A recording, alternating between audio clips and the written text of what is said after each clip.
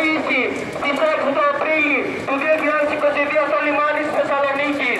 Να σταματήσει κάθε δίωξη σε όποιο παλεύει για να μην μετατραπεί η χώρα σε αρμητήρα των υπεραλιστών.